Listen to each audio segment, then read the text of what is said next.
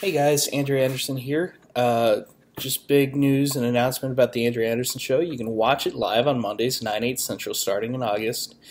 You can watch it on Smile Time or on Facebook. I encourage you to watch it on Smile Time. Sign up for an account. You can comment. I can bring you guys in. Be a lot of fun. We're going to talk about movies, what movies we saw, what movie news came out the week before that stands out to to me, and it'll be a lot of fun.